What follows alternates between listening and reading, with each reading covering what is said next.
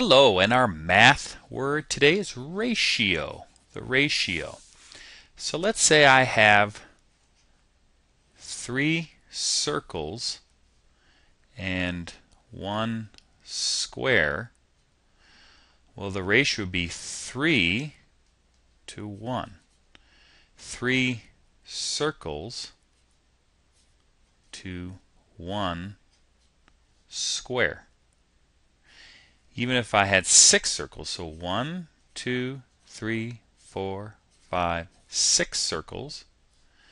And I had one, two squares.